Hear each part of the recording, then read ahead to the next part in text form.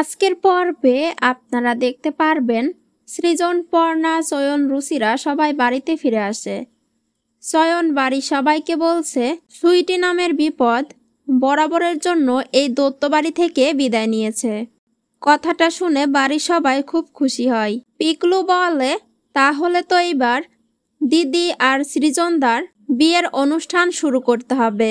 ঠাম্মি বলে, আজ তো ওদের ফুলসজ্জা ফুলসজ্জার কথা শুনে সৃজন আর পর্ণা দুজনেই লজ্জা পেয়ে যায়।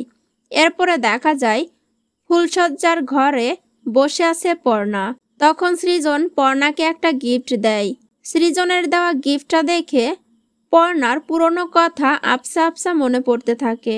তো বন্ধুরা, কেমন লাগল? আজকের আপডেটটি কমেন্টে জানিয়ে দেবে।